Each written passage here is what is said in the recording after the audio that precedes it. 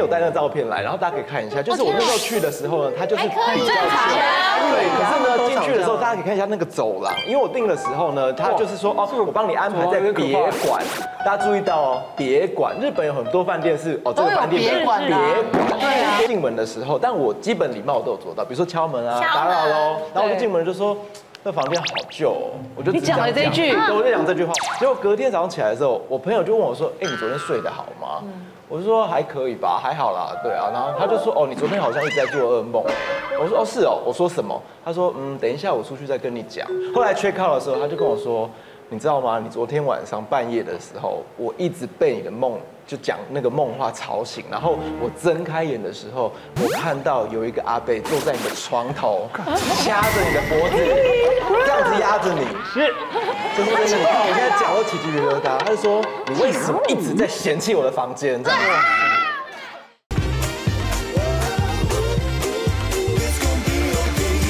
带你认识新鲜事，帮你解决所有事。欢迎收看《秀秀董事长》。欢迎张新妍、关韶文以及张宇、小优，旅游达人艾瑞克，一起来聊旅游的惊魂记。我们今天要讲旅游，讲到旅游，哎，你是不是刚回来？对，我刚回来。去日本刚回来，有遇到什么惊险的事情吗？好像都还蛮 peace，但是我有遇到在那个新斋桥晚上的时候，有人掉到那个河里面。哦，没有 peace 啊。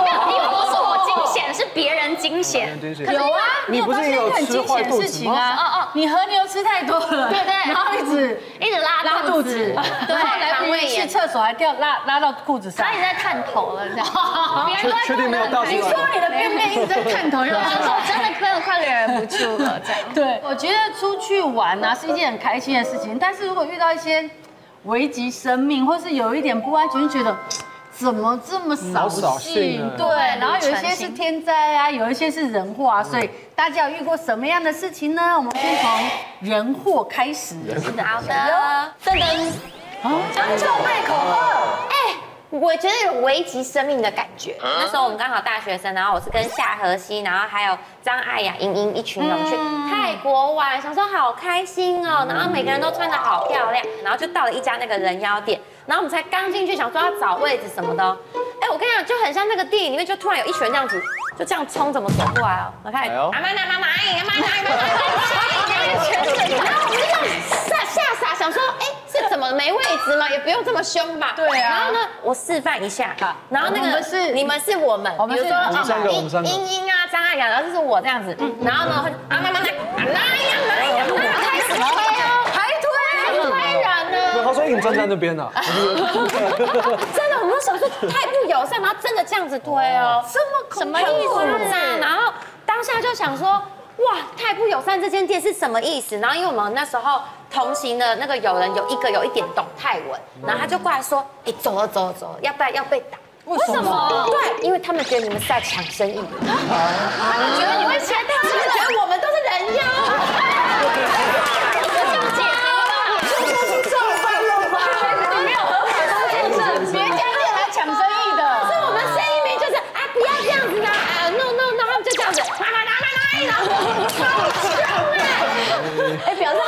很漂亮，所以因为太漂亮了，然后居然被当地人觉得我们是人要来抢生意的，对不对？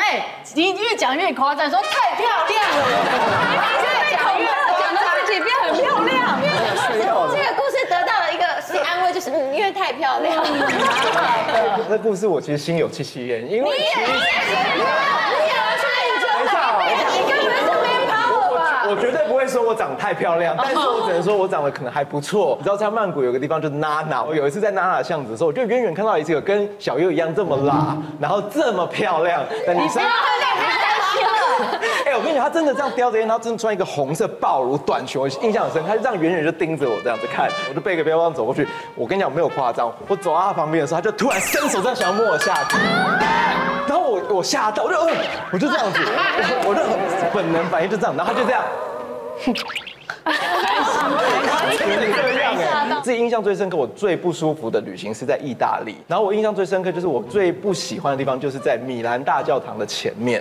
米兰大教堂很漂亮，而且大家都一定会去。文艺之都哎，没错，但是你知道那个米兰大教堂前面有很多人在兜售一些纪念品对对，手环，那个手环他就这样子一直想要丢给我，我就不要，然后我一抽手，他这样一丢，它就掉到地上，哇，完事完蛋了，完了没完没了，真的没完没了，然后就开始指着我骂，就好像说你为什么把我的东西丢在地上，你为什么把我的幸运之物踩在地上？的感你。死定了。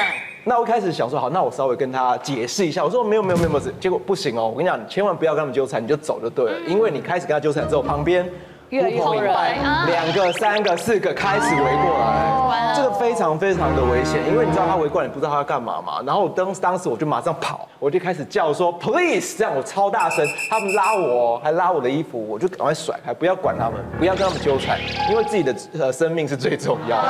而且常常我们会觉得，呃，他是不是看我漂亮，干嘛一直看我？没有，他是盯上你。对，不要以为，不要以为。小优遇到人妖还是人？我遇到的是妖，真的妖哦，真的妖吗？哦，我们全家人，我们去露营，然后是在北部啦，每个都是一个家庭一个家庭，全区都是我们的。那边有溪边可以玩，然后又有溜滑梯，整个造景都很棒，大家都觉得很开心哦。之后晚上八点多九点，我女儿跑回来这样跟我讲说：“妈妈，那个谁谁谁，就是她在讲我们隔壁棚的一个朋友。”假设小 B 好了，嗯，哦，一个小男生在跟他聊天的时候，他们在靠近河边。我妈，那个谁跟我讲说，里面很多人在那边游泳，哎，有在那边游，怎么可能？不可能呐、然后我就走过去看一下，没有人呐、空的，你知道吗？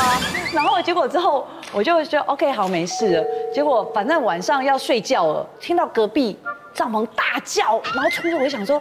发生什么事？我过去就是那个小 B 的家长，然后我就这样说：怎么了？怎么了？然后他就跟我讲说，我儿子跟我说，他刚刚在屋顶上看到一个阿北跟他打招呼，然后我就鸡皮疙瘩都起来了呀！因为你知道小孩子他们说还没有关那个，对对对对对所以有时候会看得到一些东西。结果你知道，因为我们不想惊动其他帐篷的人，然后我们就直接连夜开车回台北了。帐就在那边怎么办？我隔一天早上再赶回去收账。这个真的会睡不着。讲完不敢录影。我觉得除了小孩出去遇到鬼很可怕，哎，呦想不到跟男朋友出去也要遇到。我是去韩国，然后我真的建议大家那个边间传说一定要听哦，边间，因为我那时候就是住到边间。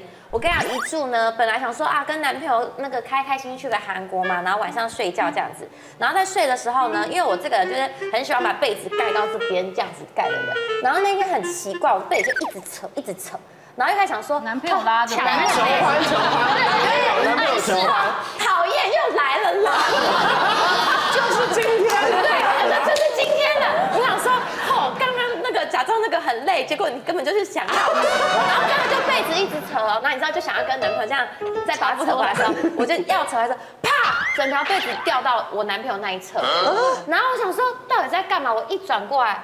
我男友睡死，他在整理打呼的那种哦。当下就想说，搞不好他在跟我玩，对恶作剧。因为我那男朋友又有起床气，我当下先先原谅他，我不想吵他这样子。然后我说好，那就把被子捡起来，然后继续睡。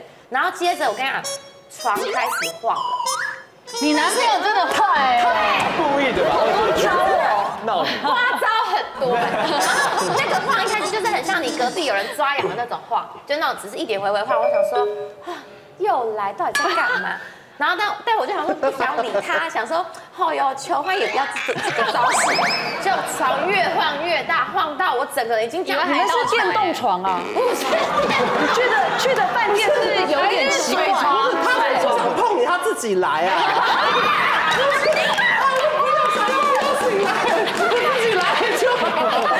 你一直误解了。我跟你讲，他当下晃到我整个人已经是这样子要醒来了，然后就真的床超级晃到，我就大叫，就直接啊大叫，叫到我男友也醒来了，然后他想想说干嘛？你在大半夜那时候真的已经四五点了。他说：“他说你到底在干嘛？”然后我真的就大哭，我的刚刚床超晃，到底是谁晃的？是不是你这样子？他说没有，刚睡死啦。男友也没有被晃醒，觉得他是被我叫醒的但。他没有那个感觉，会晃成这样。他没有，嘿然后我就真的觉得，他就觉得我罗生嘛。他说你是不是在那边演啊？做梦吧？对，对啊没有，我是清醒的，因为我就一直以为他要跟我求欢呢，一直期待，我期待他就来的是好消息可是。会不会是你梦里以为他在跟你求欢？因为太多天没有了，想说怎么还没有求欢？你们到底觉得我是多欲望的？因为你不是，我不是个蜜蜂粉丝，不是。然后我后来真的就那个晚上，我就直接跟我男朋友把行李收一收，隔天换饭店。有一套老房子也很可怕，像有一次住金门，然后那时候我老公就订了一个那种三合院，结果我一进去啊，那个三合院在一个很偏僻的地方，它到了晚上是没有路灯的。然后会有那个大狼狗在外面巡逻，然后一直叫，一直叫。晚上的时候，我坐在那个大厅，想说我要休息一下，结果呢，就有蝙蝠这样啪啪啪啪啪飞进，然后就蝙蝠戏剧了吧？有蝙蝠哎、然后就绕一圈之后，然后这个很不对劲哎、然后还有那个门啊，我们门没有关紧，感觉嘣，因为是木门，哦，他自己这样嘣关起来很。像在拍鬼故事。我我其实是一个不是这种 体质的人，然后我当时已经觉得。我再也不要体验古迹了，不要再三合我立马半夜订了那个海景大饭店，隔天全部换换房间。好可怕！像我自己，就是我很喜欢全新的饭店，可是有一次我去日本九州的乡下。真的没有选择，别无选择，我就是订了一个就是呃数呃英文字母开头的那个连锁的饭店，就是日本很多开头的吗？对，今天有带那个照片来，然后大家可以看一下，就是我那时候去的时候呢，它就是比较旧，对，可是呢进去的时候大家可以看一下那个走廊，因为我订的时候呢，他就是说哦，我帮你安排在别馆，大家注意到哦，别馆，日本有很多饭店是哦这个饭店都有别馆。别啊馆，对啊，别馆很长是比如说他把隔壁栋的饭店买下来，然后改装，所以变成再多一个空间，当然它是可能是旧饭店，它去改装是别馆。进门的时候，但我基本礼貌都有做到，比如说敲门啊，打扰喽，然后我就进门就说。那房间好旧哦，我就只你讲了这一句对，我就讲这句话。结果隔天早上起来的时候，我朋友就问我说：“哎，你昨天睡得好吗？”我就说还可以吧，还好啦，对啊。然后他就说：“哦，你昨天好像一直在做噩梦。”我说：“哦，是哦。”我说什么？他说：“嗯，等一下我出去再跟你讲。”后来 check out 的时候，他就跟我说。你知道吗？你昨天晚上半夜的时候，我一直被你的梦就讲那个梦话吵醒，然后我睁开眼的时候，我看到有一个阿贝坐在你的床头，掐着你的脖子，这样子压着你。是，就是真的。你看我现在讲都起鸡皮疙瘩。他就说你为什么一直在嫌弃我的房间？这样子。然后他醒过来，他吓到嘛，然后他就因为他是有一点灵异体质的，然后他就想要把我摇醒，然后他就走。但我隔天起来我真的很毛，因为我真的没有想到会碰到这样的事，我只是随口说了说这个房间怎么这么啊，还不能乱讲话。可是小孩子童言无忌，妈呀，这房间好烂哦。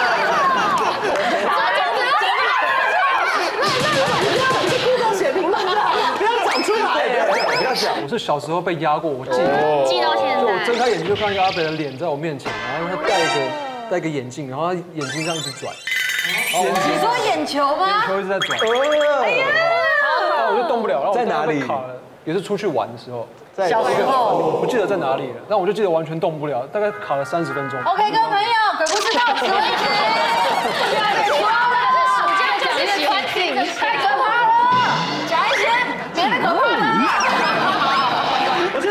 的太可怕，可是有时候人真的也还蛮可怕。。对你，们比鬼可怕。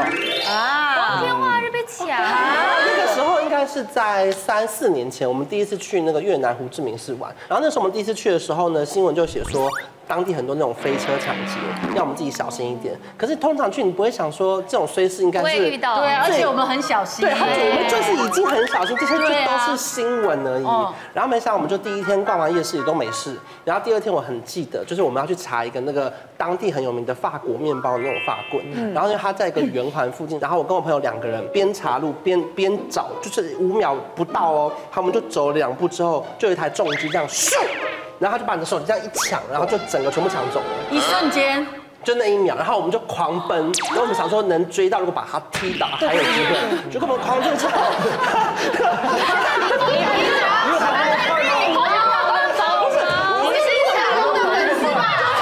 他们可能是已经是惯犯，所以他就立刻转弯再转弯，说我们怎么跑，跑到转弯再转弯就已经完全都不见了。第一次遇到这样的事情，觉得太太太崩溃了，因为毕竟手机里面所有的资料都不见了，照片啊、影片啊。然后后来呢，我们就问饭店人说可不可以报警。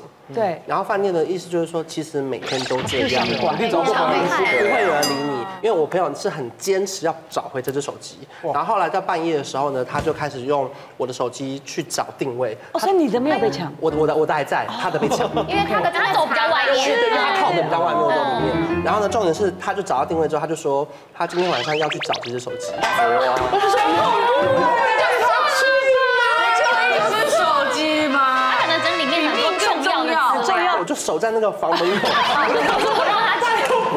去，不要去，不要去，买给你吧。后来我就再帮他出一点点那个手机钱，然后呢，他就去买了这只新手机，我们就没有再回去找。因为我觉得希望大家心情还是可以完成到，不然其实有时候一被偷后面都玩不了。我觉得手机你再买就有，但你命只有一条，你就给他。而且最危险的是当地，如果说很多人就是一个人去，然后剩下那种团体的自拍棒架在那边的，都会被抢走。所以千万不要把那种自拍棒架在那边，不能请别人拍照，不能边走边看手机。哦，对，真的这样就太危险。因为台湾我们太习惯这些东西，对，千万要戒之前在网络上还有很多影片，是你在搭捷运的时候也要很小心，就他在关门的那一秒，然后会有人站在那个捷运的外面，就是把你抢走之后，你门关起来，你就走了。对对对对对。我那时候去意大利坐那个罗马的地铁，然后他就是在那个的的的前一秒，啪就把你包包扯走，他就出去了。旅行的时候也太衰了，你遇到你是不是不适合旅行？你的 朋友他也是在意大利自驾，他自己开车，他已经觉得非常小心了。因为我朋友他们是结婚去度蜜月，就两夫妻，然后他们就说，哎，我们自己开车最安全，然后所有东西都在车上。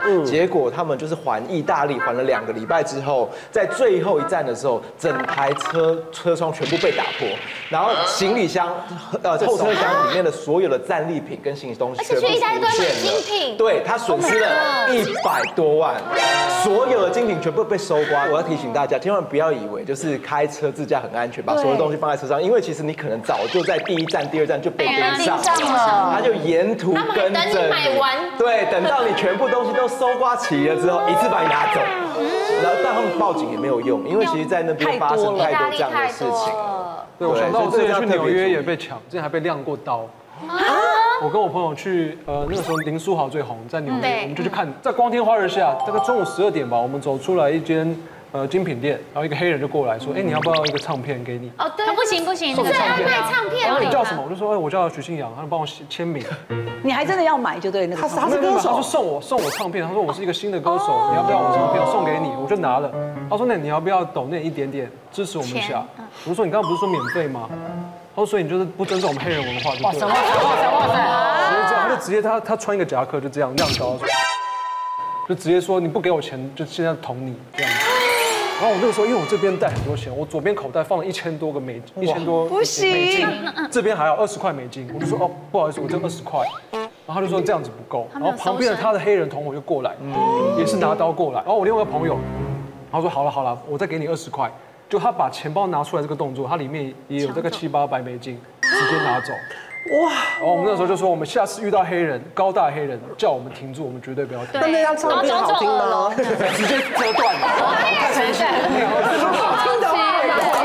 晚上我们看完球一样，然后我们走出球场，又是一个黑人叫住我们 stop。然后我们就就这样，他说 take off your jacket，就叫我们脱掉。我们看完蛋，我们因为他们穿的衣都是好的。我说哎，我想看一下你里面穿是不是支持纽约你。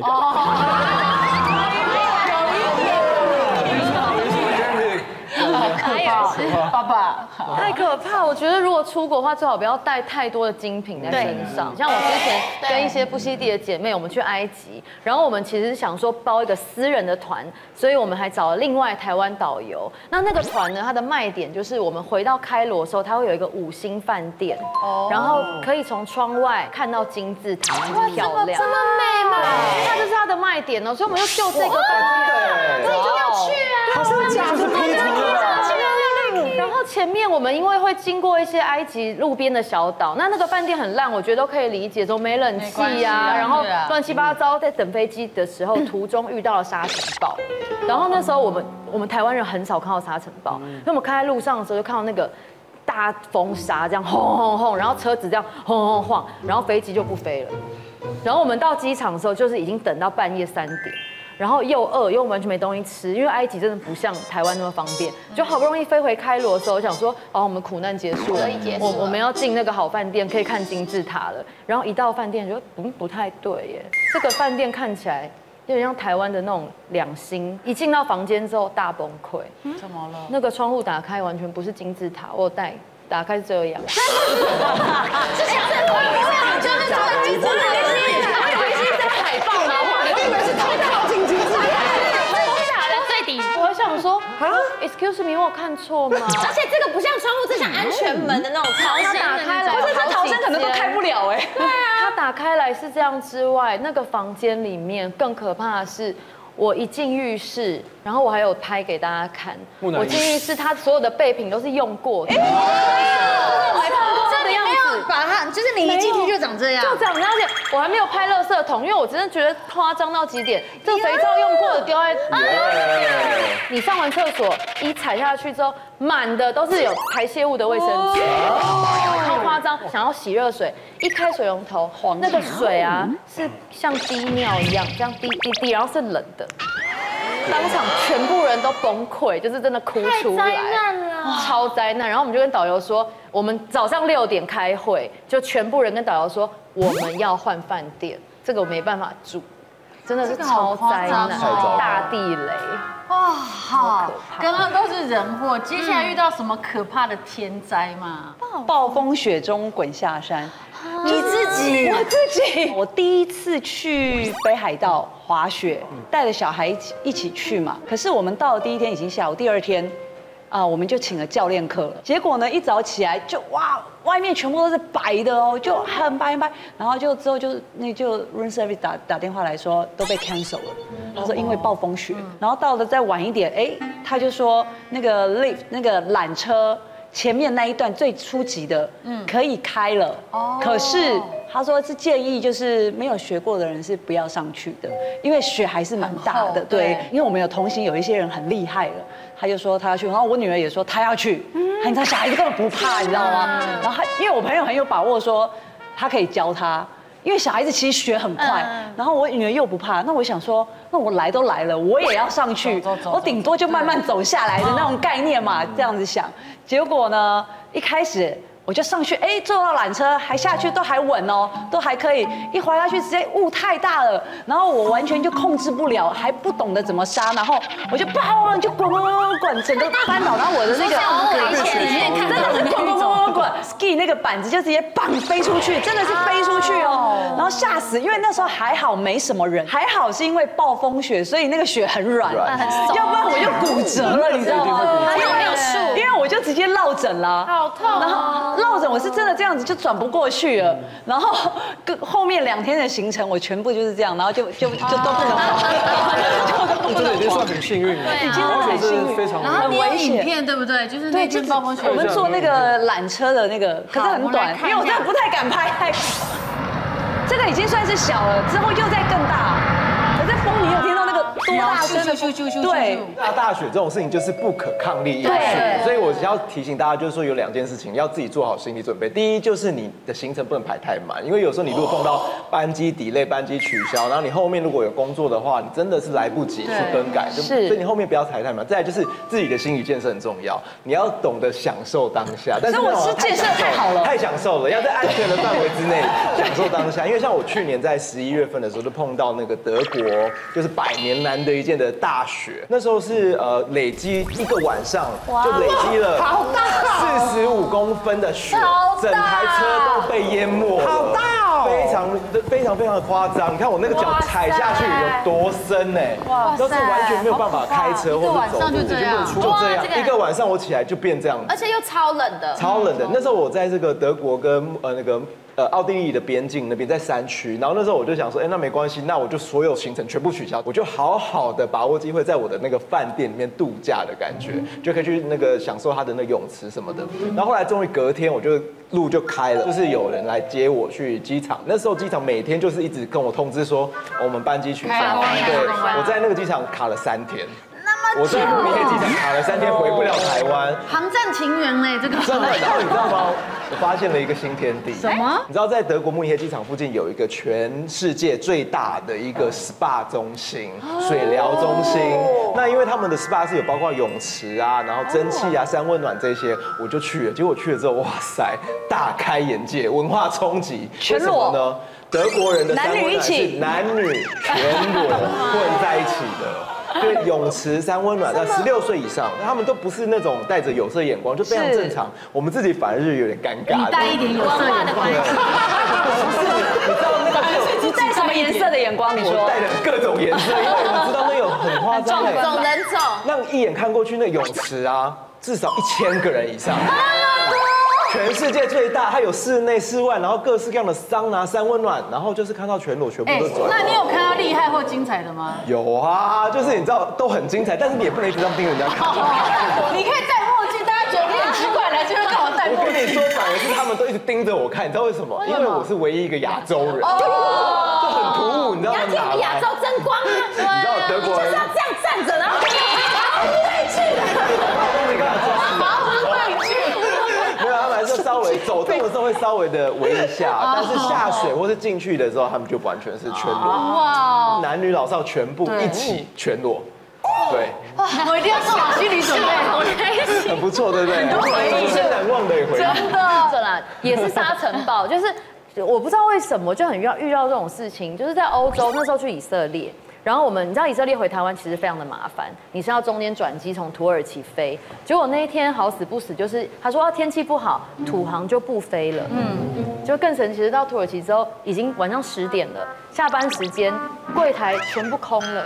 然后那时候你知道我们早上在以色列还在死海。死海不是全身都是盐吗？来不及洗澡就冲去机场，想说反正要回台湾了。结果临时被滞留土耳其，全身上下都是臭的那个盐哦。我们的行李已经被转回台湾了。啊！行李比你们早到。我们那一天晚上没有行李，没有钱，然后没有衣服，没有任何东西。好可怜。然后滞留机场，然后我们去那个航空公司的柜台，然后 sorry，我们下班了，然后就不管了。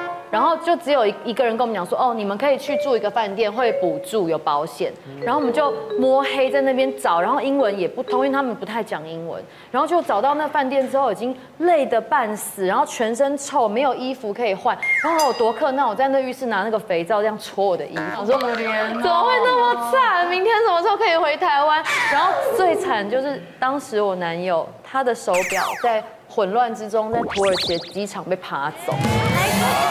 手上在手上被爬走，因为其实土耳其也要很小心那个治安的问题。现在真的好可怕哦！被吹倒吗？你被台风吹倒？对，就是看起来很值得被吹倒吗？我觉得这个真的是无法避免，因为那时候是跟朋友，就是也是跟当时的男朋友，拿一群人，我们去长滩岛玩。哦。我跟你讲，我就带满了满满的泳装，五套六套，想要去那边拍一整个写真集。然后大概只有第一天拍到，你看第一天天气还很好哦，我还要准备那个泳装，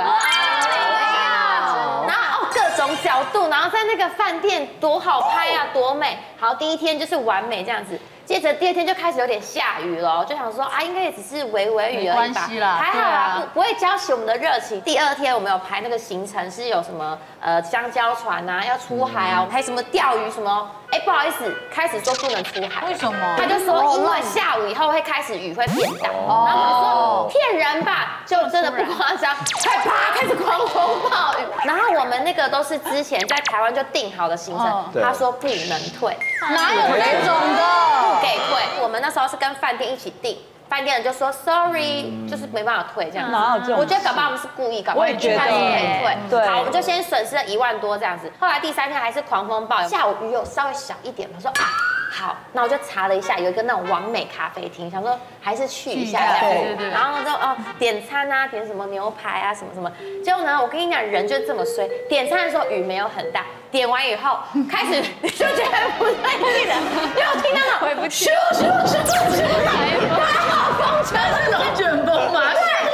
然后那个你知道长滩岛那种屋顶也不是那种茅草屋嘛，那种茅草，然后完蛋了完蛋了，我的牛排变牛排汤，牛排汤直接满出，滴水滴水里面，我们就边吃边在边吃，你吃，因为我都咸了。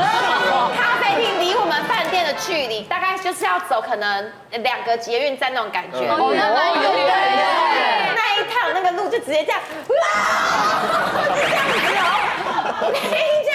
那个时候你不会觉得雨是从天上下来，是从四面八方来。然后我就整个这样子，这样这样这样回来，然后就因为风太大，然后我就这样被这样子吹吹吹吹吹吹吹，然后那边有树嘛，因为博罗凯的那个路这边都是树，然后就啊，然后就直接去撞树，然后我还哎，这是很可怜的故事，但我忍不住觉得很好笑。对，好生动。然后，而且重点是我还男朋友大吵架，因为他完全没有保护我。我等一下，他在你都没有自己保护你，但是他应该被我抱住啊！我被树，我直接去撞树哎，他自己都，可是在旁边两个一起这样会大笑吧？我这样感情，你知道，就是大难临头各自飞。我的其实就是这种万米高空放两个小时。你这样真的会吐哎！那次要从韩国回来的时候，台湾就有个大台风，嗯然后呢，台湾的所有人都说已经连续下雨下了五天了。就我记得那次他一起来的时候，要尤其是要进去那个云里面那个瞬间，就会这样一直抖一下。哦，知道，对，因为乱流，所以他们就会抖一他下。从头抖到尾，然后好不容易进去之后，没有一刻是平的，就是那个安全带的从头到尾没没有没有熄灯过。然后呢，他一开始送餐的时候，因为他们还是会送餐嘛，然后送餐了之后每一个那个汤都是这样子的 在在晃的，你知道吗？我要说今天是要拍那个什么韵律仪的夜配吗？整整整整套都这样哦。然后后来他们就广播说，我们今天没有办法发热饮了。我觉得也还蛮蛮道蛮有道理的，反正至少热的不发，我们把那个餐发完。结果就两个小时，从头到尾没有一刻是这吃的东西吐了吧？对，然后结果后来到某一段，他还广播说我们要进入一个那个更不稳定期。机长在广播的时候都特别可怕，我就觉得天啊，我等一下会听到什么？而且那机长都装没事，我们要进入一段不稳定的镜头哦。对对对，说就要镇定一下。对 啊，安定人心。哎，那个一大是这样大的，然后是就是那个那个杯子，你看到已经这样掉起来又掉下去，我还拿我的杯子去接那个哇，杯子你以。为这个有你那个那个款？我看这个提醒他讲什么？讲什么？橘子是没有，可是因为你知道，有时候它的塑胶杯里面还有一个纸杯，我很怕这个打翻，我就再接一下，刚好有接到。蜘蛛人。其实我本来都觉得没事没事，我闭眼睛，我不要想太多。可是当你看到旁边的人拿出那个佛珠跟圣经的时候，我就想说，真难了，你不要这样，不妙对，就就就有时候会被他们吓到。真的哎，他们在帮你保佑啊。好，哪有那个听起来很毛感觉？对啊，今天没事的感觉。很可怕。你知道之前有一次也是不知道桃园机场在整修还是什么，然后我从北海道飞回台湾，我飞了九个小时，哎。好久哦，九个记得小时。真的这件事吗？真的有，然后就就是只有一个跑道。有上新闻，然后我就在那个班机上，你真的也是很倒霉，对，可是我觉得你很拉你们这边都蛮衰的。不能跟他们一起出游了，很夸张，就是我想说，哎不是应该快到了吗？然后就听到广播就默默讲说，嗯，我们现在要转降高雄，我们已经到高雄，说啊，我到高雄，然后在中间的时候也是有那个乱流，想说惨了，因为我等一下有工作，然后我想说完蛋了，就是其实我本来想说啊，那个生死有命，富贵在天呐，就是眼睛闭闭就休息就好，结果我根本睡不着，然后我睡不着就会有很多问题，比如说皮肤会长一些凸起的东西，然后脸色蜡黄。然后呢，再加上眼尾啊、嘴角都可以有细纹跑出来，因为整个人很干啦，状态就是那个连粉都盖不住的状态差。然后我就想说，糟糕了，我等一下有工作，要么就是要延期，要么怎么样。就正当我烦恼的时候，我又看到隔壁的那个女生，默默的从她的化妆包拿出一个紫色的包装，然后她撕开来，喝完之后眼罩一戴，就这样。这么酷，然后我说，他喝了什么？喝酒哦。他秒而且是高浓度的酒，到底有什么都给我们一点。我刚刚想说，哇塞，什么东西啊？还这么好睡飞机这样拱拱拱，然后这样，然 后我就趁他睡觉就很不要脸，就偷偷拍那个包装起来，然后发现。回家的时候，Google 发现哦，她是那个韩国女神孙艺珍也在喝的，小那个很红。就其实演艺圈很多朋友都有在喝，就自己喝了一阵子之后，就发现哎，好像素颜的时候状态比较好，就脸会比较水亮。所以今天再来跟大家分享。好，跟大家说这个多方便。那个时候那个女生就是这样从化妆包这样拿出一包出来，哇，小小包装包有这么厉害？对，然后就是它，因为它很小一包嘛，可以随身携带。然后像我呢，都是在晚上睡前喝，它就好像是睡睡前喝的这种喝的晚安安瓶，可以让我们越睡越美丽，一边保养。大家可以撕开喝看看。那我们喝完我们就睡着了。不会，我们会马上睡着的。他喝完就睡着了。大家都睡成一片。这个叫做夜亮饮，就是它的名字就知道，它其实就是我们晚上可以喝的，然后喝看味道，嗯超好喝的哎。好喝莓果的味道。对。果，我觉得这个如果放冰箱会更好，对冰冰凉凉的。哎，这个很好带，就小小扁扁的一包小小。扁扁，我觉得小优你真是内行的，嗯因为像我自己啊，很喜欢喝冰的口感，所以夏天的时候我就会把它冰到冰箱里面。对然后有时候晚上我们会想要吃宵夜，对不对？其实你可以用它来取代宵夜，它可以避免我们身材走样，然后同时呢，你可以越喝越漂亮越好睡，因为它的味道啊，为什么会酸酸甜甜？它是用纯天然。真的纯天然的红石榴果汁去调味的，对，所以它的你闻一下知道，它的莓果香气很足，而且完全没有腥味。那重点就是呢，它是没有加额外的糖跟调味剂，所以不太担心我们热量啊跟一些其他的负担。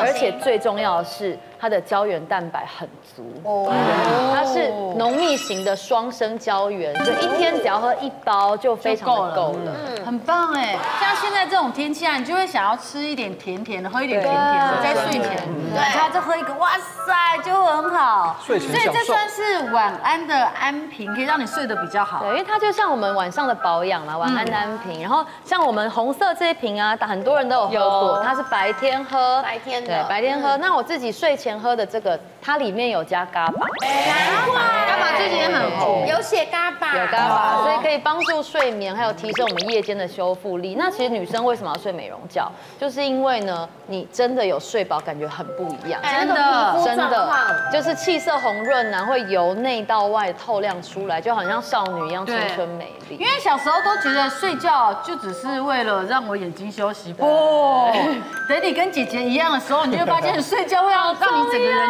气色很亮，然后皮肤都会很亮，所以我觉得睡得好真的因为我觉得用喝的就可以变漂亮，真的蛮厉害。很方便而且便。张宇的皮肤看起来真的很光亮，感觉皮肤很好。我觉得有保养有差，因为其实我自己是在发亮哎。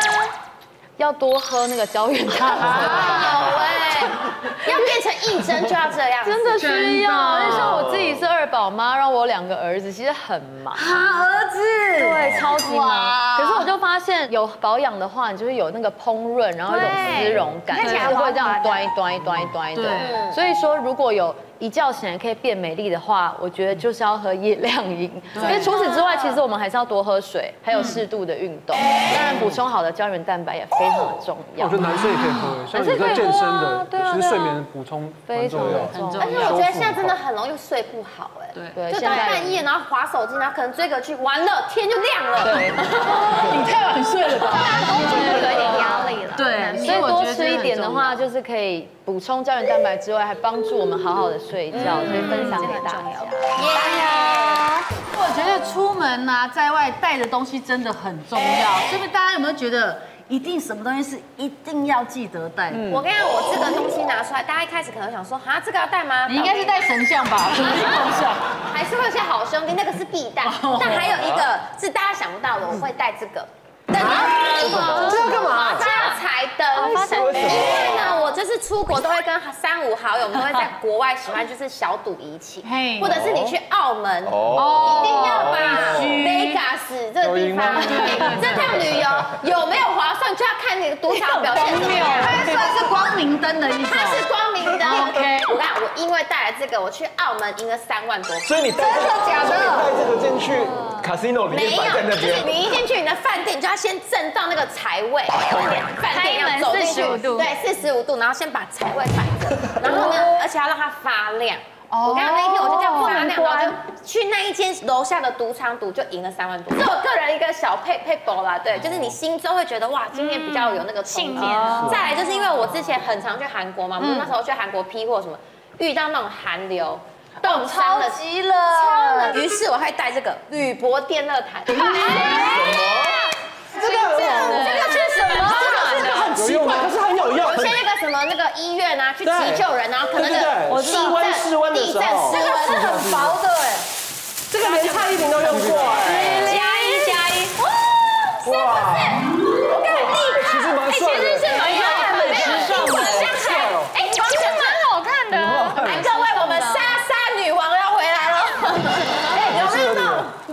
什么？是心理作用吗？好像有一点点呢。它有，它是一个原理，它是真的那个铝箔会帮你聚热聚热。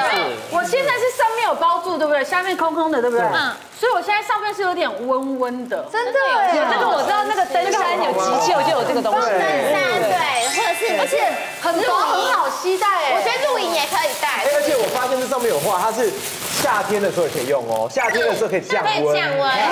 会凉凉。一射朝外就是会凉，还凉啊。啊，两感一，两感一，有没有？好像有一点，就是温温的，没有到烫。有啦，没有不是。之前有一次蔡依林去时装周，她的衣服太少，外面也是穿这个，是不是很酷？看起来没什么，但是你随身携带，哎，很冷就拿出来。这个超薄。我觉得你去露营也可以带，重点蛮上突然。可是如果去餐厅吃饭突然带有点尴尬。对，有一点。其实我的跟小优应该是有一点异曲同工之妙。该不会就真的是佛像了吧？没有，我的是一个水晶。小的版本，可是 可是这个是如果要去比较重要啊，例如说像澳门，我就得带到这一组。对，然后呢，因为它有搭配一些不同的功能，像这个呢是开赌运的。然后这个是把一只恶灵赶走的，然后呢，这个是搭配我自己的那个五行的生肖跟那个去选的，所以呢，有时候我也是会一进房间都是先放好这个东西，然后放好之后呢，我就先让它净化那个磁场，把一些坏东西都赶走，然后就跟他说，我等一下要下楼比大小喽。对，那一次我在澳门，好像都只会去澳门。这个 水晶的花费应该不菲吧？对，水晶其实还蛮贵的，这应该也都是。哎，你那个太贵，我这个灯才两百五。那你赢了多少？先说。我这个大概快一万，赚了两万，算是 OK 吧。对，这个一万。有带有保佑。对对对，非常棒。对，像我，我下一周就要去美国一个月。好啊。你知道吗？你在美国已经吃不到比较台式的东西，所以你就必须要带一些罐头。加起来好台，对不对？这个好台，然后泡面，这些都一定要带的，还有这些。下饭了，美国现在物价很高，自己打算一餐配这个就吃好很聪明，很聪明。对，这个东西就是为了小孩准备的，因为在台湾我们有蹲的马桶，对，可是其实欧美很少蹲的马桶，跟妹妹还小，一定会碰到那个马桶盖。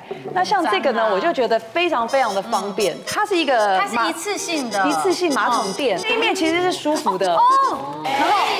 对，那你你也不用贴，你就直接放上去，对不对？那你放上去呢，它这边还有帮你很贴心，再做长一点，所以你的脚不会去碰到那个马桶，你知道吗？这吃饭变吃饭可以当温水，对啊，拖头就可以，可以，可以，看看好像可以。不用撕他说不用撕，他就直接撕哦。对，它这一面是防水的。对，像我有时候去厕所，我会铺一圈卫生纸。对，但是就是上面是湿的，大家跟着一起。我这个很好，这个是被蚊子咬的时候。啊，你现在没有蚊子咬，你知道了吧？我知道这个完全不用用药，它只能在咬的当下，不能说当下，就大概是第一天，你第二天可能就效果没有这么好。可是我女儿第二天用，她觉得还是有用。就是你蚊子咬的，你开始就会抓啦，然后一个肿，对，肿了之后你就这样压下去，对不对？然后你就这样子吸吸吸吸吸，吸了之后大概停十秒，到二十秒，然后再把它推回来，之后它就会红红的嘛。对。然后大概我有时候会弄到两次，神奇的事情它就再也不会痒了。他们就是说把那个它里面的毒液吸到表面，对对对对，你就不会痒了。而且你看它很贴心的是还可以换头哦。所以如果你咬在关节，哦你知道吗？你有时候吸不到你这个，然后你就可以这边，哎。我昨天车上有蚊子，我不知道为什么。你昨天哦，昨天我就不敢确定了。好像那个量血压很紧，是不是？你看哦，好，现在几秒了？现在几秒？应该有十秒了吧？可以了，可以，可以。可我觉得我好像有点缺血了。你太走了，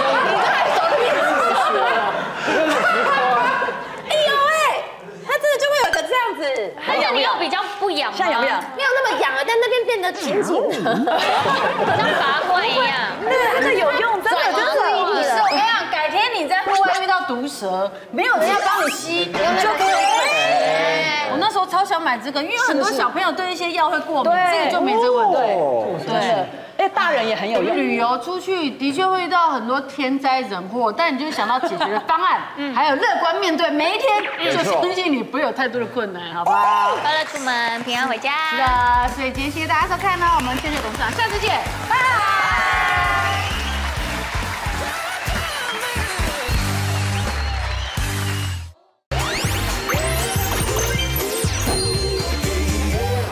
你认识新鲜事，帮你解决所有事。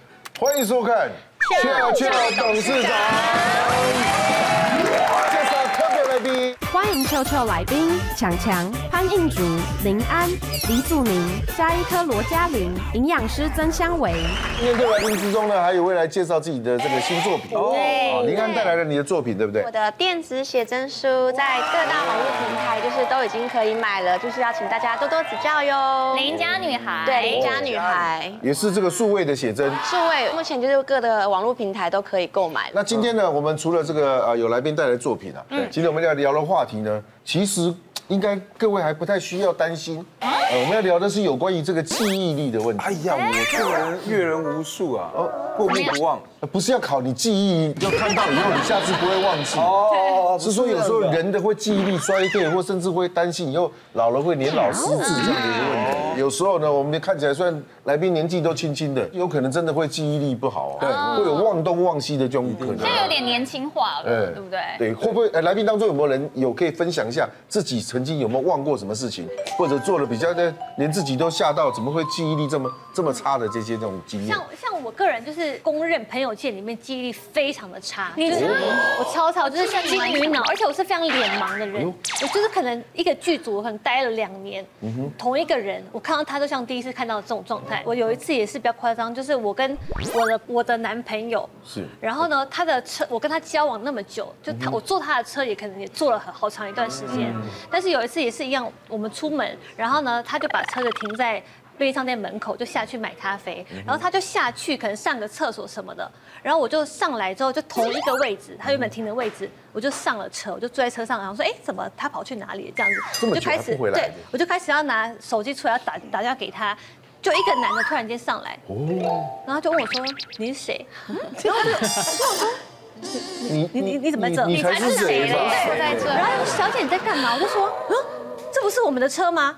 我完全就是上错车子，所以车子是同款的，同完全家不。同款。我的我男朋友同个颜色，不是不同个颜色，而且同颜色。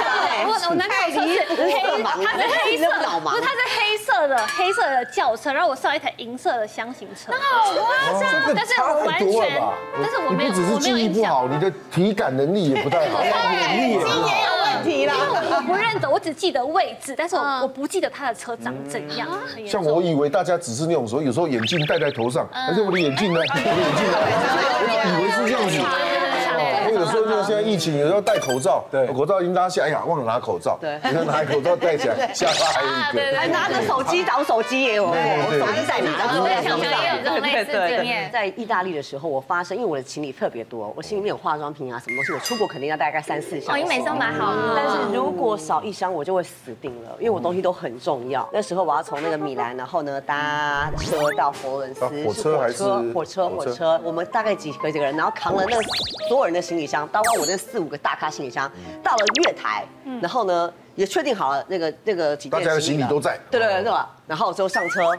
上车好了，我想说哦，因为跑得很累，全身都流汗了，而且跑最后一刻哦，你知道吗？压线最后一刻，对对，到车厢里面，好说好开心，终于可以睡个觉了，在那边休息，就大概通通常大概六个小时啦，就很长的时间，我大概是四个小时才发现，嗯，感觉怪怪的，好像有个什么东西没有在身边，对，而且老一咖在身上，对对对对对，最重要的那一咖就是我，我大概有四个行李箱是我的，就我一直看我往我行李箱那边看，怎么只有三咖？我想说，嗯，那应该是在别的车厢，啊。就我想说再休息一下好了，就想说。不对啊，刚刚上车之后就只有这三咖，然后再问一下，刚刚是不是只有这个？我说对啊，讲就只有这个。我说还有一个，怎么只有这？还有一个？去哪了？怎么办？就是忘在那个地方的月台，月台。车已经开开走了好几个小时了。对，意大利治安那么差，你这样找得回来？然后那时候我尖叫啊。你，都已经上车四小时，尖叫也回不来啊，回不来，但是我知道闹得众所皆知，就是如果这台车问我停就为我停，或者这台车有谁可以帮我就为我帮我。你你看你任何事情发生之后，你一定要张扬，张扬你的张扬，你自己的你自己的力量太小了，是是要被注意到，看有没有人会伸出援手。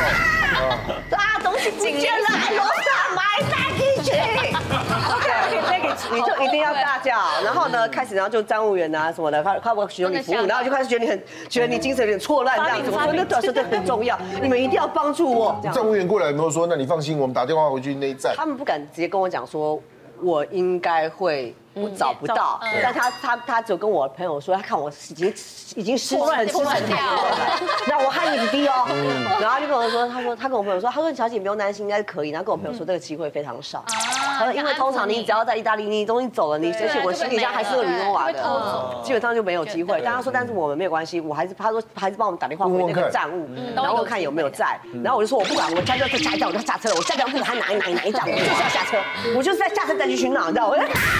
是大闹，然后结果他们就连线，现在火车上的跟这台月台的连线，然后再跟原本的月台连线，三方连线，你知道吗？我超级幸运的找到了。他说，他们说这个真的是。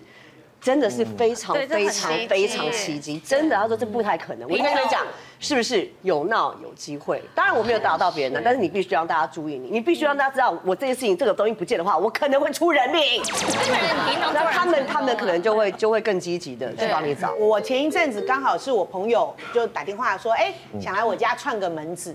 我说 OK 啊，刚好我今天在家，没问题。结果我朋友就说，哎呀。我车开到了，可是附近不好找停车位。他说：“那这样，我买了咖啡，就在你们家一楼大厅聊聊天，然后我就走了。这样我又可以看到车子，那又安全。”我说：“OK，没问题。”不用找停车位，对，这样很方便。然后我就说：“OK，好，你到了打给我。”他就说：“哎，楚宁，我到了，下来吧。”我说：“哦，好，我就下去了。”下去就，拿着他的咖啡，两个人在聊聊聊聊，突然就听到大楼警报器就开始叫，大楼的那个火灾警报，呜呜这样叫。我还我还跟我朋友说。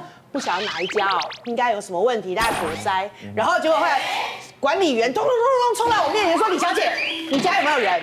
我说：“没有啊，我家没人，我家现在我就在这啊。”我说：“我在跟我朋友聊天，怎么了吗？”好，警报器是你家在叫。他说：“那你赶快跟我上去看是什么问题。”嗯然后我们就砰砰砰上去，一开到出已经烟雾都跑出来了，因为那个烟雾警报嘛。然后我突然。看到烟雾之后，突然想到我瓦斯炉上炖着今天晚上要给女儿喝的牛肉汤，我完全忘记这件事情，是因为我朋友打给我的时候，我正在做牛肉汤，然后我就想说，嗯，趁我朋友还没来之前，先把火开大，煮滚，然后煮滚，然后再关关微火。这样焖个四十分钟，差不多上来，哎，牛肉汤就好了。殊不知正在大火煮滚的时候，我朋友电话来了，我到了啊，好，我就下东西拿了，钥匙拿了，我就下楼了。我完全忘记。它还在大滚之前，还没有调成微火，我还没有调成微火，也没有盖盖子，什么都没有，所以我看到的那一通那一汤的牛肉汤呢，已经变成草灰搭的汤。哎呦，开社区大会的时候没有想其他注意，请你赶快搬走，没有，然后马上群组就有那个热心的邻居说，请那个住户多小心火烛，这种事情不可以发生。他没有指名道姓，但是我觉得很愧疚对于大家，虽然很客气的。句子，但是看出大家的不愉快。不愉快，然后晚上的牛肉汤直接改成烟熏牛肉。对啊，干脆把它再弄久，就是牛肉干好。对对对，真的有，在煮东西不要离太远。对对对对。那这边，我觉得我家附近的锁匠因我致富，就是我是常常没带钥匙。我真的是除了常常没带钥匙之外，我会有个特殊的状况，因为我家有养两只猫，那他们很喜欢就在我开门的时候就冲去走廊玩耍，然后不回来，所以我常常就是必须要去抓猫。猫，然后抓回来丢，我才有办法出去嘛。之前会很常发生一种状况，我先抓了一只，然后就很紧张，然后丢进去，把门关上后，我就发现说啊。我没有带钥匙，然后我也没有带手机。把一只丢进去，你跟另外一只还留在外面。我就跟他两个就站在外面面面相觑这样，然后他就是喵喵叫，然后里面那只喵喵叫想出来，然后外面那只喵喵叫想进去，然后觉得天哪！我很常就是要告诉我大楼警卫说，哎，可以帮我叫锁匠吗？对，那一次就是比较夸张，就是他帮我打给锁匠，然后就锁匠说他要两个小时后才可以到，我吓坏，因为其实我那天下午还有工作，然后我就穿睡衣，然后什么都没有，就站在走廊。后来是我邻居手手机后。来还好，是又我们又找到第二位，就又打到一个他愿意可以快点来帮我开锁的这样。然后我觉得我们家附近的锁匠应该都很开心，因为我你应该以后换那种超发生过，我超常发生的，这个也发生过。对而且说很开心的意思，应该是不止发生过一次。可是密码锁我会忘记密码，对，指纹锁啊，对啊，现在可以换指纹指纹锁，指纹锁，可以可以。如果密码我应该会忘对，记。考虑一下。我们这样听完大家的故事之后，嗯我觉得这样都还不能证明他们的记忆力不好。嗯，也不知道到底是哪一位来宾，对，我的记忆力是最差的。所以我决定，我决定要玩一个游戏哦，叫做记忆 tempo。哇，在这里玩哦，就在这里玩，以你们六位哦来来做，那我出题，看看谁是最记忆最差的对，而且这个最重要的是你要记住自己讲过，还要记住别人讲过，因为你不能重复。哦好难哦。来哦来哦，准备好，可以讲。准备好没有？游戏开始哦。那我们来先练习一题，好不好？好。记忆 tempo ready go。记忆 tempo ready go。蔬菜园的蔬果，苹果、苹果、西西瓜、苹果、西瓜、凤梨，苹果、西瓜、凤梨、葡萄，苹果、西瓜、凤梨、葡萄四加，苹果、西瓜、凤梨、葡萄四加玉米。苹果、放啊！年轻的反而记性最差。第一个是什么？苹果、苹果西瓜、凤梨、第一个是什么苹果、西瓜、西瓜、西瓜、玉米。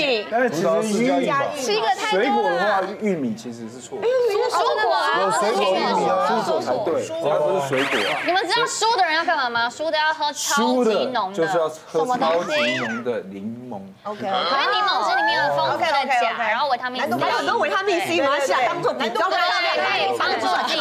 可以了，可以了，正式来了，正式来了，这很重要，我很难了，要记忆 tempo ready go。没有，记忆 tempo ready go。两只脚的动物，鸡、鸡狗。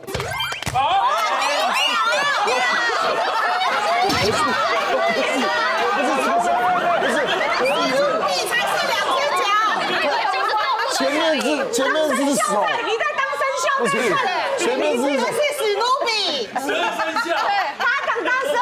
不是不是，我不是故意自自杀，我是因为像猪脚会叫佛手啊。哦，对对，我是他是前面手，后面是脚，再给我一次机会，哦一一题就淘汰，太丢脸了。你重你重新来。动物啊，动物都是两只脚，两只脚，两只脚。记忆 tempo ready go。记忆 tempo ready go。两只脚的动物，米奇、你小鸡。哎，等等，你要米奇，你要米奇，你不行啊！我刚刚讲米奇，米奇有什么？老鼠是老鼠吗？老鼠啊，老鼠，老鼠是脚哎我，就是被他干扰了。四只脚，老鼠有四脚，所以我那时候突然觉得他是对的，所以他要过啊。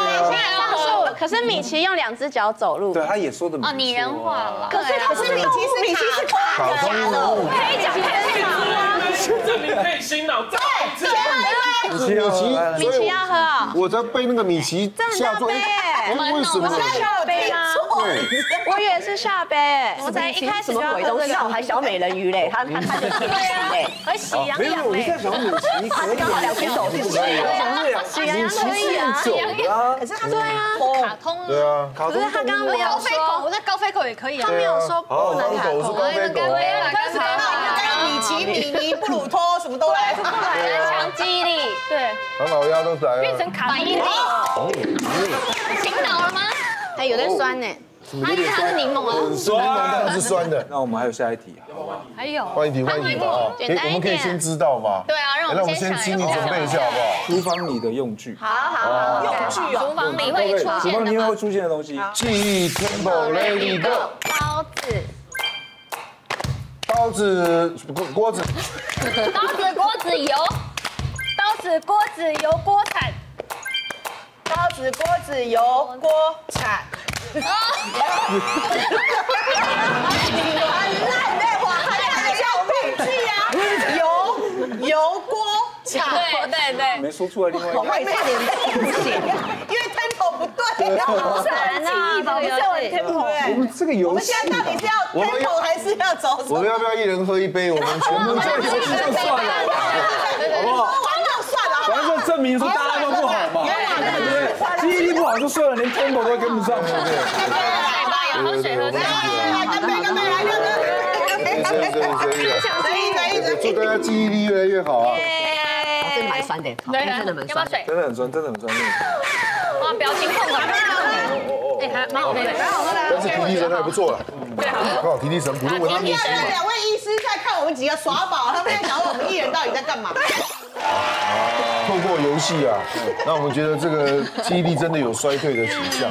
除了记忆力之外，那个 tempo 跟不上也是有问题。好悲哀哦。这些记忆是不是因为吃了一些东西导致影响？我在想我觉，得是会有影响因为生活中难免我们会吃一些可能。所以吃也是除了吃饱之外，你也很怕吃错了。吃错如果伤害到你的你的脑，吃错药，吃错药，脑子就坏了。它现在是不只是药，可能是食物的问题啊。所以我们干脆来看看我们今天所有的来宾，对哦他们平常最爱吃些什么食物？还有最常吃的，这些食物是不是会让你的记忆力衰退？像我个人的话，因为我就是非常不爱吃正餐，就是我我其实不需要吃三餐的，我只要吃小零食小零食，这样累积起来就可以把我喂饱。很多人跟你一样。对，像是珍珠奶茶是基本上我每天都一定要必喝，一定要喝一杯。素食店就是像是我我每天都叫 Uber E，有时候我可能想要快速的方候便就求方便，它最快送来。然后像地瓜球就是我逛夜市的时候必吃。必点。必点，然后结果好巧不巧，我家楼下竟然开了一间地瓜球，就在我家楼下。搬家搬家，而且可以加美粉，我超开心，就是我我超喜欢地瓜球。然后像这个就是一套的嘛，然后再来的话就是这种酸酸的软糖，这个不是国外的吧？国外的没有干台湾酸越好，越道。酸越好。对对，然后像我都一定会放在包包里面，你随时可以拿出来吃。然后有时候像我去日本，不是都很多酸对我就会囤货，有时候带一整咖的行李箱，满满的回来，然后就慢慢吃。通常我都是吃这些小东西，加一加，一天就过了。冰淇淋、生鱼片，这样子吃有没有什么问题？对有没有什么呃必须要稍微注意的？你是不是觉得我都会批评你的饮食？但是我会先来夸奖你的一个饮食叫泡面，为什么？为什么泡面还不是？大禁忌吗？因为泡面我们的面体它是用油炸的，对啊，油炸的话在因为为了怕它有油耗味，所以会添加维生素 E 抗氧化剂，对。所以越吃泡面越对，你在吃泡面的时候，你就可以补充到一点点的一些维生素 E，让你可以抗多吃一点。对，那你可以抗氧化。但是泡面中的大魔王是调味料包，哦，对，那调味料包你就是减半去做是没关系的。其实它还有个一个大魔王，就是你们刚才讲的双砂暖糖。为什么？酸酸软糖是比较容易让你以后可能有失智的风险，对，因为它是添加物的添加物的添加物，对。全部都是添加物对，它不是一个圆形的食物，所以所以那个其实国外有研究指出啊，其实你多吃百分之十的添加物，呃，食品加工品的话，你未来会得到呃那个失智的风险是高百分之二十五的。对，没想到泡面竟然呢，不要把调味包加太多就没事情。对意外。哦，还可以有机会帮助你的这个不要失智。这个酸软糖反而后面没有焦黄肉就没感觉了耶。对啊。好难呢。泡面你有时候那个水加太多，淡掉就不想吃了。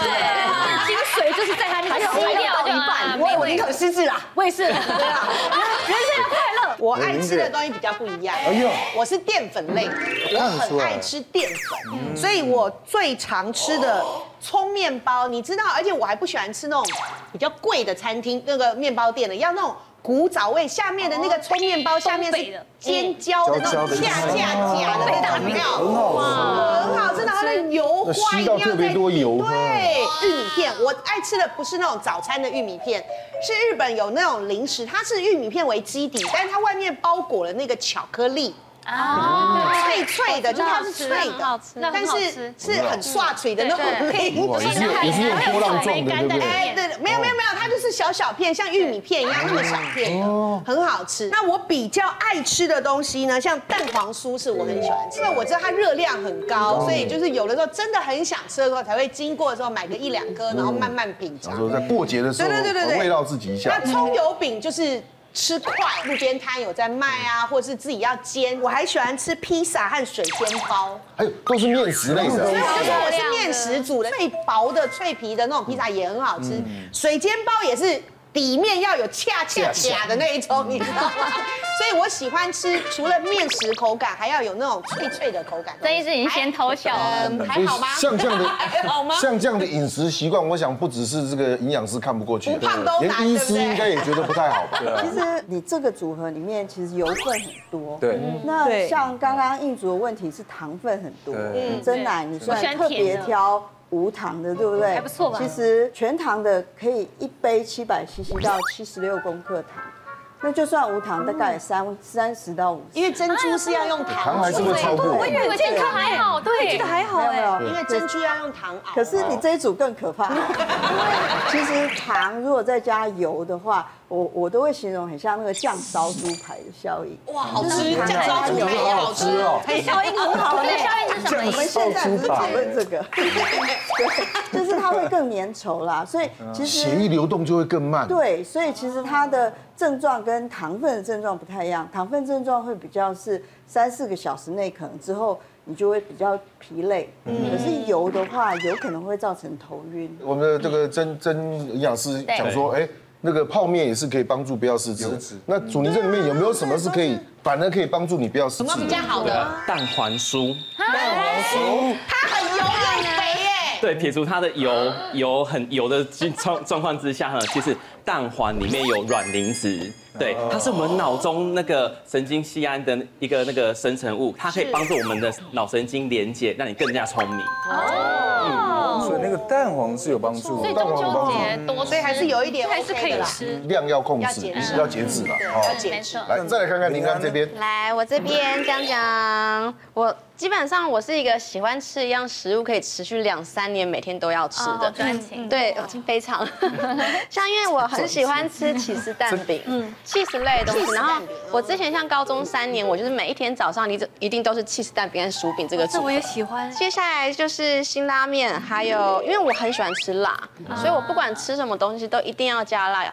呃，我喜欢到我我会有自备生辣椒，然后剪一支进去，然后再来就是白酱的意大利面，我超喜欢吃意大利面这个东西。意大利虽然面白酱很多气质，只要有气质啊或什么的，我都超爱。嗯，然后再来是爱吃的食物，但是比较没有那么常吃，就是螃蟹，然后再来是马卡龙，马卡龙很甜呢。马卡龙好好吃我觉得台式马卡龙好吃，但是那种法式、欧式会很甜。对，我们两个有点像，甜的。对，然后再来就一定辣的嘛，麻辣锅，然后接下来是牛排，牛排是因为就是想说要可能减肥或控制一下体重，所以不敢再吃高热量的时候，就会想说就纯纯粹吃肉，吃红肉，看会不会比较健康一点。还算可以，但是他刚才有讲到一点，他非常喜欢吃辣。对。对。你常吃辣的话，会让你的交感神经处在一个很兴奋的状态之下，对你的血压就会升高，心跳加快，全全身就会感觉很紧绷的样子，这样会造成你脑部一直在运作，会造成你的记忆力变低。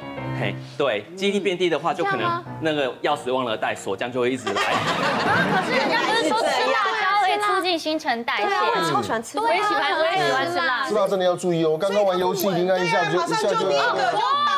那些东西真的都我不要讲出。米老鼠啊，米年纪就是个人问题，那个你你就是没有讲出米老鼠一，定很很异于所以我才。被罚了一杯，你还要提米老鼠？面的记忆年纪轻轻这样不行。吃辣其实对你的记忆力是会是有有伤害的，好啊，不能吃吃辣可以，但是一样也就是那个不要太辣次数也要控制，刚刚适量或者不要太辣对不对？对，我们来看一下强强有没有什么其实我我觉得我比较喜欢这个都是比较有汤类，然后我喜欢吃熟食，然后就是嗯正餐类的，像是一定要吃到饱为止，然后酸辣汤饺要韭菜的哦，然后拉面我很喜欢吃，就是一定要有汤类的，然后小火锅、臭臭锅那种的，或者是自己煮的那种，然后烤玉米真的很好吃，然后我最喜欢吃烧烤，跟烤玉米都是一样的。烧烤的话，我要喜欢吃在放在白饭上那种肉，要自己烤的，要最好吃到饱。然后呢，生鱼片的话，我喜欢吃握寿司，我不喜欢单吃生鱼片，也要握寿司。嗯。要有饭的，对，然后呢，盐酥鸡，咸酥鸡晚上晚上宵夜吃，宵夜的时候。对，然后泡面。就是晚上真的叫不到东西，台风天没有人送的时候，泡面。有跟营养师有送泡面，所以他写的常吃，汤水水的，我我喜欢汤汤水的，热的，暖暖的。但是他也不容易啊，那如果那么爱吃这些东西，居然身材还保持对啊。哎，真的就是真的是，因为我在运动，然后还有呢，就是你要不定时，越不定时越瘦。不定时不定时因为我觉得比较，因为我常常工作起来，有时候有时候一早上起来工作就开始了，开始了，可能到宵夜才是我第一餐，或者有有时候是，要不然就有时候它就会变成就是中间要吃的很快，嗯，或者是说就是那个量有时候不一定，没办法定时定量。不。定时想吃的时候再吃，这样对，想吃就吃，但是但是有时候要么会暴饮暴食，要么就变得很少。这样胃会比较容易不好。我主要是因为这个他们有运动，不提供给大家参考。对，我们想问一下我们的对，不代表本台立场。卢医师，他这样的行为是正其实我确的我？觉得啊，因为他空腹的时间拉长，有一点像是前一阵子很流行的那种断食哦，啊断食是。对，我们知道说断食时间一长，其实你的胰岛素相对来说会下降，因为胰岛素会让身体积存脂肪，嗯，所以有可能是这样。这个饮食里面。我觉得烤的东西啊，这种高温的，可能会造成一些致癌物的风险。对，还有就是因为因为这些高温所产生的物质，它有一些氧化，那呃会造成我们的大脑比较容易有脑雾。所以这个可以小心一点。或许你在吃烧烤的东西的时候，加一点刚刚那个柠檬汁。啊柠檬，对对。对对对。难怪很多烧烤店都会给你那个柠檬汁原汁，对对对，解腻解腻用的，解腻用的是解腻再加一点心安呐，吃起来这个比较安心。就是有时候是为了好吃，就没有想管那么多，你知道吗？人好吃，然后身材好，维持好就好了。真的然后这一次你 care 那么多，我就觉得很烦。就是我会觉得说，就是只要开心吃的开心，但我们老人家还是想劝奉劝一下的哦，不听老人言的，吃亏在眼前的。哦，有时候还是多少要听一点的哦。对，那我想问一下那个曾医师，什么样的食物其实比较容易导致失智？其实呢，料理方式也有有很大的关系。像你高温油炸会产生很多的自由基，那这个自由基呢，就可能去攻击你的心血管、脑血管，就会造成你的呃脑中脑雾的状态产生，记忆力降降低，产生失智的状态。那还有一些器具啊，比如说那个雪平锅啊，或者是之前很流行的韩国的泡面锅，对那都是铝制品。对，那如果使用不当的状态之下，很容易就是把那个有毒物质溶解出来，造成那个失智的状态。那不粘锅它的涂层它是聚四氟乙烯，那这。这个东西呢，如果在高温两百六十度的加热情况之下，就会把这个毒素溶解出来，就会产生一些可能一些癌症啊，或者是一些失智症的一些症状产生。对，我们煮完食物之后会装装到我们的碗盘嘛，如果碗盘是那种很漂亮的瓷盘颜色很，鲜艳的瓷盘对，颜色很鲜艳的话，那个东西都可能有加到一些重金属的物质。那如果你像有一些妈妈们，呃，刷洗碗盘都比较干净用力的话，如果有小细痕的话，那那有毒物质就可能溶解出来了。你在锅具的保养其实蛮重要的，不要尽量不要去刷，它只要有痕迹，真的要丢掉。刚刚两位营养师其实也有给很多的建议，大家应该都有多少对食物有一些概念了。对，那我们现在就来玩一个小游戏。又有游戏出现了，哦，出题考大家就对了，也也让大家了解一下，说，哎，自己这对方对这方面的常识观，念有没有观念是不是有正确有了解啊好？，我们来请曾医师。好，要请问大家说，下列哪一种食物可能会造成脑部发炎？那这边讲的脑部发炎，可能是你记忆力降低啊，或是情绪暴躁啊。哪一种食物可能造成脑部发炎？A. 面条，B. 米饭。大家都来猜一猜吧。哎，淀粉，来，请举牌。是淀粉啊，都是淀粉类的，猜看看。A 面条，面条，两个面条，两个米饭。哇，因为？我觉得面食是我一个礼拜最常吃的料理，所以如果吃面会变笨，那我怎么能活下去？对自己我们要反向思考，对自己的脑是很有信心、心的。所以我们要选吃饭的。对，我跟你讲，你知道饭桶饭桶吗？饭桶就是就是说你是白痴啊！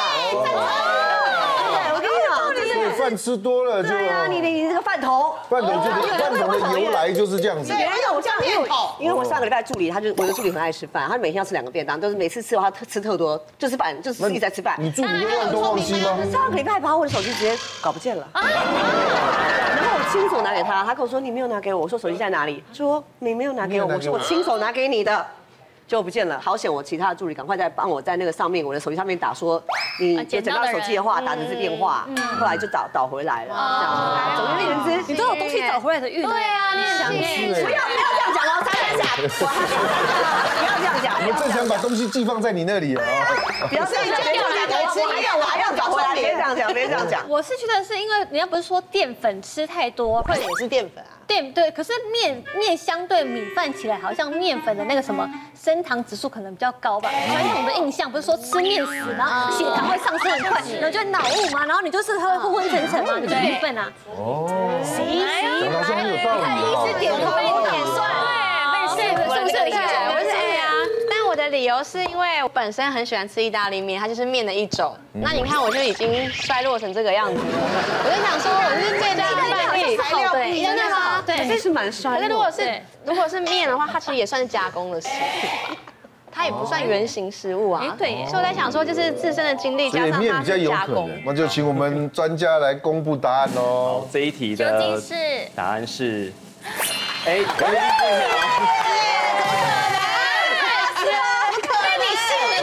所以判断说你以前更冰雪聪明。所以也许我以前更聪明，吃面吃笨了，吃笨了是这个意思。对，那还好，平常我都吃饭。为什么呢？为什么？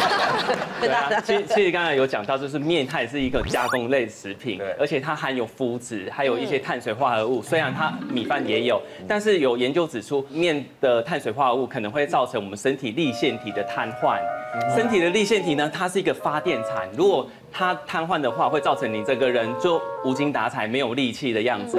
但是不是说碳水化合物就对我们人体不好？其实我们脑部的那个主要能量来源还是碳水化合物。那你记记得之前很流行那个生酮饮食，对对生酮饮食就是只吃肉不吃饭嘛，所以它都没有淀粉。它虽然会瘦。但是你会发现，哎，瘦瘦的人呢，他就整天昏昏沉沉的，精神不好。不好对，精神不好，而且你叫他，他可能那个记忆性也会变差，反应会变慢。所以那怎么办呢？我们平常吃饭吃面的比例要怎么样拿捏比较好呢？难哦。对啊，像我们一般男生的话，就是去亮哥这样子一餐的话，就是一碗饭就一碗饭就好了对，不能加饭。那如果经常超过就惨了嘛。糙米吃什么糙米是不是比较好？圆形一点，对对？对，圆形食物它是可以让你，它是生产指数会比较低一点，它那可以让你的血糖不会一下子飙得很高，对，而且又可以增加你的膳食纤维的摄取量。就是尽尽量不要精吃那个精精致淀粉，精致的哦。所以我不想多问了，因为不要问我一一餐只有一碗饭，如果这样子我也没办法活到这现在的。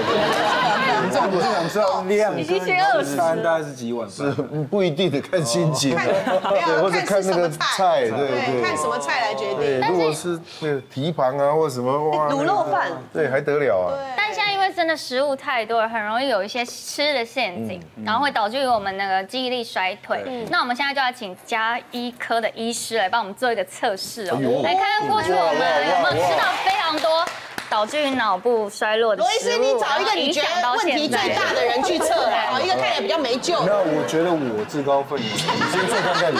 在我们大脑开始退化的时候，其实你的眼球移动的速度会变差。对，其实你仔细看很多那种呃开始退化的人啊，你会发现，哎，他有时候看东西是要这样子转过去，很呆滞的。哎，他可是我们一般人看东西就嗯嗯嗯这样子看就好难。怪有些年纪大的长辈，他们那个驾照过了几岁以后要重考的，每隔多久就要重新测试。度会变对你眼睛没有办法看很开的话，有车过来有车过去看不到人。手眼不协调啊。所以其实你训练眼球的动作，事实上是可以帮助大脑哦，转转转可。是医生，我们有时候对看到，有时候我们会说，哎，旁边有一个漂亮女生，我们也会这样子。所以这是一种训练吗？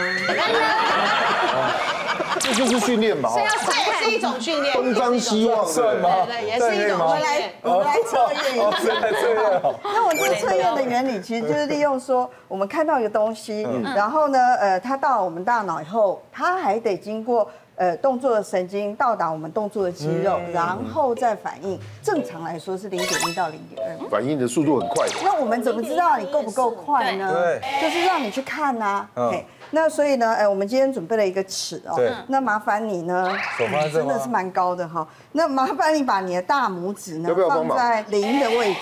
医师你可以拿低一，哦，零。哦，让他蹲低一点没关系到底。要我多低？然后放到地板上。没关系，你就尽尽量。好，你的大拇指放在这个零的位置，好，你就平行要这样掐住。那你待会掉下去的时候要抓紧哦。嘿而且是不定时对，我不。定时，我不会告诉你。哦，有反。不要放，不要放，我们看看多。少？几几公？怎么办呢？再挤啊，这肥肥很快的话，其实已经十五公分了。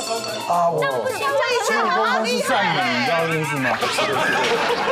我们今天不是，我们今天不是录这种。的。意思也听得出来哦，不要开医师下玩笑。不要对研究所，要对照一下哦，是哦，哦，像这种调皮的人爱开黄腔啊怎么样？怎么治治？他？正常是四点九到十公分。你在什么意思？四点九到十公分。所以他的那个没有，我觉得是因为我蹲了，他蹲有点影响晕了。哦，给他高一点，给他高一点，给他高一点。再试试看一个，不定时哦，不定时哦，不定时哦。不是吧？你够不敢看，人家二十公分。所以人高马大没用啊是。没有用的，不定时哦。你要你要靠靠在你的这边。对对对。这蛮好玩的。你到底怕不要一直把这个不要紧张，不要想紧张，顺时哎不要紧张，不要紧张，不定时，不定时，不要紧张，不定时的。哦哎，没有没有，他那题，我要跟你讲，我跟你讲，我跟你讲，比他烂皮。他把那个肉直接顶上去了你，我一放就变这样。在五指上了。亮哥呢？亮哥猜猜看啊，亮哥，我来测测看玩一下。好，这样子吗？对对对对不赖，靠在零的地方，对对对，好，不要动哦，好。那你今天看到亮哥也在不是，我很专心的。对，我知道你很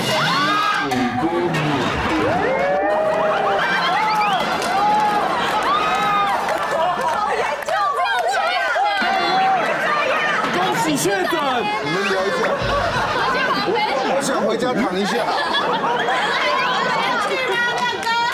有点太难了吧？是因为太紧张的，就是在日本。就这样滑走了。来宾有没有来宾想要试试看这？很难，真的我就想想想要挑太战。难了吧？其实很难，其实很这很难，我怕我，我会怕我会出糗。没事没事没事那个把那个我就一定可以，你一定可以。对，手在您的位置，在您的位置。对对对，你对不对？好，不要紧张哦，不要紧张哦。不要紧张，不要紧张。来来，不错不错不错啊，蛮快的。哎，十三，哦，接近九了啦。对对对。第一第一次玩不错了啦。第一次玩不错。我目前为止最高了。是等一下，你也玩一下。对一直叫我们不要紧张，都是你不要紧张，你不要紧张。你不要紧张，不要紧张。不定时，不定时哦，不要紧张哦。哇，你今天穿的好漂亮不要紧张哦。今天穿好漂亮常常上电视哈。哟。不准，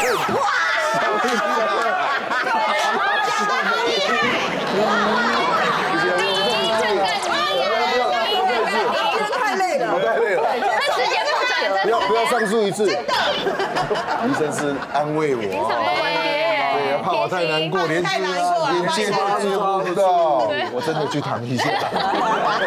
反正我们来问一下，有什么东西可以预防这样子？健脑食物五个东西，来，第一个我们看一下是葡萄酒，一天大概摄取摄取多少？如果多一定不好的。过量都是不好。以葡萄酒的话，男生一杯是六十 CC，女生要三十 CC 就好了。啊好少，一小杯而已嘛。是什么时间红酒喝这个东西啊？三十 CC 等于是小朋友喝药的那个那个瓶。盖的那个，对，想到药杯，对不对？药杯就一没感觉三十一点点，就这么一点塞牙缝都不够啊。对，多了就不好了。对，其实呢。葡萄酒里面，它的酒精可以抗发炎，还有白藜芦醇也可以抗氧化等等之类的。所以的话，日本他们就有研究啊，是不是每个人喝葡萄酒都有用呢？年长者呢，他可能八成有用，两成没有用。对，还是有这样子况下。来，第二个是巧克力。这个我女生喜欢。那巧克力呢？因为它有黄烷醇，它也它也是很有抗氧化能力的。但是呢，巧克力不是叫你吃那个叫你阿妈来喽那个 东西，里面有包那个对甜甜的 nuts 的那种，对，因为那个脂肪高、油量高，然后你胆固醇也会变高。那纯度要多少？巧克力对有一个纯度，对要六十、七十还是八十？对，我会建议要吃到百分之八十五以上的，就像古城在吃的片一片的，有点苦哎。对，那里面有糖分的话没关系吗？糖分就一点点，因为八十五 percent 以上的巧克力的话，它的糖分是比较少的，是 OK 的。好，第三样的是咖喱，好吃的。对，而且是小朋友最爱的，对。小朋友喜欢吃的咖喱饭呐，它就是里面有姜黄素，那姜黄素呢就可以提升那个小朋友脑崩脑中的记忆能力，而可以而且也可以提升脑中的 DHA 的浓度哦。好，第四样是鹅啊，鹅煎也可以啊，直接吃鹅就好了，为什么要加鹅煎呢？有不一样哦，因为这个就很像一个地中海饮食。地中海饮食，加上它就是要有好的蛋白质啊，好的蔬菜呀，好的油。那鹅啊煎的话，它就有两种，对，它就有两种好的蛋白质，比如说鹅啊跟鸡蛋，对，然后又有青菜，对，又有青菜，而且海鲜类的食物的话，又有很多的维生素、矿物质，对，对我们脑中是非常有帮助的。好，第五个是。炸豆腐，好，对，炸豆腐也可以。豆腐不是说油炸不好？油炸的话，它可以浓缩它的精华，对，它的大豆异黄酮啊、卵磷脂啊跟维生素 E 都会。比平常的豆腐高出五倍之多，所以豆腐要吃熟的会比生的更好。对，油炸反正会比这个吃没有炸过的来得好。对，没错。好推翻推翻想法。营养师跟医师都有给我们一些建议，给我们一些帮助。我们节目也是对嘉宾都非常好的。是，我们会准备一个料理，好像对脑部也有帮助。对，曾营曾营养师刚刚有讲到豆腐，我今天就来做一道夏天也非常适合吃的这个凉拌呃凉拌洛梨冷豆腐。哦。对对对，这个豆腐。其实网络上之前有流传到一个，它吃的口感非常神奇哦，它就是当那个呃洛梨加上那个芥末酱油，吃起来会很像尾鱼肚生鱼片，像的，没错，真的吗？赶快来吃吃看，怎么可能？食材就是我桌面上看到的。其实这个豆腐呢，其实我已经呃有用水，然后加点盐，然后让它穿烫过了，所以把它捞起来之后呢，切成条状，切成跟这个冰过的洛梨是一样的大小。刚刚说的芥末酱跟这个薄盐酱油嘛。那我想问一下，日式料理一样，差不多对对。那我想问一下营养师啊。像豆腐跟洛梨，它是不是有什么样可以帮助记忆的？豆腐刚才有讲过，它有大豆卵磷脂，卵磷脂的话就是会帮助我们记忆力，脑中的记忆力会提升。那其实洛梨啊，你不要以为它是水果类，在我们营养学分类，它是油脂类。对对，热量高，因为它热量很高，它的油脂又非常好。你要让它站起来是？嗯，对。现在要让它就是有点像三明治夹。一片豆腐，一片洛梨。而且刚刚花花讲的也是对的。它如果你今天要让豆腐比较能定型而不会散掉的话，你必须用盐水去煮过。嗯然后你这样它比较不会散开。对，不然就嫩豆腐是更容易碎裂的。对，嫩豆腐也很容易就散掉。你切的这个片数，这个盘子可能会对呀塞不下。那我觉得这样就可以了吧？这个不能移到第二排来，不行，不方便。哦，好像也可以哦。是不是？把第一排推前面一点。可以可以可以，这样。万一每一位来宾都想吃，可能就不够。对，我想吃，我想吃。真的吗？对，勉强，很清爽。把这个搅一搅，对，搅一搅，然后把它淋上去，非常简单。我原来豆腐除了皮蛋豆腐之外，还有其他做法。没错，都是非常适合炎炎夏日吃的，感觉不错哎。对呀，然后再加上这个是什么？海苔碎。哦，对，海苔酥，现在可以撒一些芝麻那些，对，它上面有芝麻，小尖看起来很像日式料理的前菜，对，对呀，其实这样就蛮正适合家里在吃饭的那种前菜或者是尾巴，感觉蛮精致，来，不错不错，好 easy 哦，来几分钟的好菜，这不是才两分钟而已嘛，对，好简单，想吃我想吃，来宾来来宾来试试看看喽，没想到的食物，没有，主要吃吃看，网络说很像 Otoro 的口感，有吗？会像吗？没关系，如果不像也也说，因为毕竟是网络上。你的意思，你说的洛梨像尾鱼肚，真的假的？真的，是洛梨的感觉像。碰到我也好奇。有吗？而且主要是酱油。酱油。酱油酱油主要是酱油。一吃那个酱油就觉得是在吃日本料理。那我也想吃，这个很好吃哎，好像不错哎。真的假的？洛梨像尾鱼肚。有握寿司那种感觉。有，因为而且吃完之后尾鱼的味道。你怎么会？为什么？哎呀，我喜欢这样来的，很好玩。你的海鲜的鲜味是海有点啊。对，对啦，海苔脆。成功了，成功了，我替你觉得骄傲哎，谢谢。对，那我们就专心吃你做的面包，我们说再见吧。好，下一次同一时间，秋秋董事长，再会喽，拜拜。好吃，好吃，